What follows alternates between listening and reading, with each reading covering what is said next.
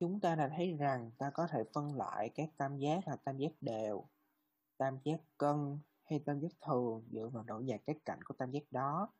Vậy thì nếu không có cạnh nào bằng nhau, nếu có tam giác như thế này, chúng ta sẽ xem đó là một tam giác thường. Mình giả sử cạnh này không bằng với cạnh này và không có cạnh nào bằng cạnh còn lại. Đó là tam giác thường và đây chỉ là để ôm lại. Nên mình có ít nhất hai cạnh bằng nhau. Giả sử cạnh này bằng với cạnh ở đây. Mình ký hiệu chúng bằng nhau. Đây là một tam giác cân. Nếu tất cả ba cạnh đều bằng nhau, nếu cả ba cạnh đều có cùng độ dài, chúng ta sẽ gọi là tam giác đều. Trong hầu hết các trường hợp, bạn cũng có thể nói đây là tam giác cân vì tam giác cân có ít nhất hai cạnh bằng nhau. Tam giác này có ít nhất hai cạnh, nó có ba cạnh bằng nhau. Vậy tam giác này đều và cân. Trong khi đó nếu cạnh thứ ba này có độ dài khác, thì tam giác này chỉ là cân chứ không đều. Tất cả các kiến thức đều đã ôn lại. Bây giờ trong video này chúng ta sẽ không được cho độ dài các cạnh và chỉ có số đo một vài góc. Ví dụ giả sử ta được cho một tam giác Giả sử ta được cho một tam giác có số đo một góc của nó. Giả sử góc ở đây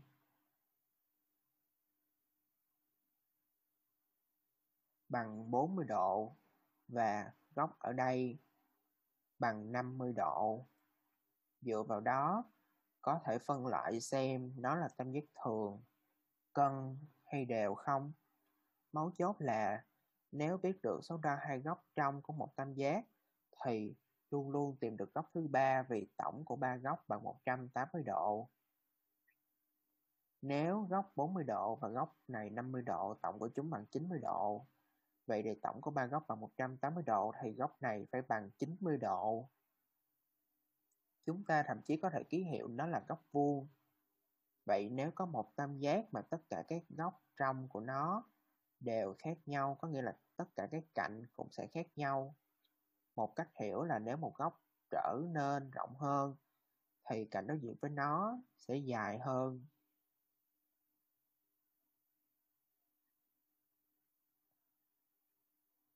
Nếu góc này lớn hơn hay nhỏ hơn, cạnh đối diện của nó sẽ trở nên lớn hơn hay nhỏ hơn. Nếu góc này lớn hơn hay nhỏ hơn, cạnh này cũng sẽ lớn hơn hay nhỏ hơn. Hy vọng bạn hiểu. Nếu có ba góc khác nhau thì bạn cũng sẽ có ba cạnh với độ dài khác nhau. Vậy thì dựa vào cái góc ở đây, chúng ta có ba góc khác nhau. Ta có thể kết luận đây là một tam giác thường. Ta sẽ xem tiếp một vài ví dụ nữa.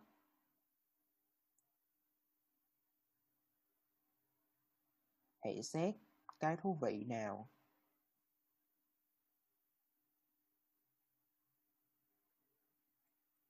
Giả sử góc này bằng 70 độ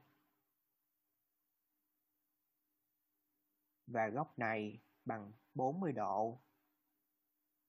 Dựa vào thông tin đó, tam giác này là tam giác gì? Bạn xét được không?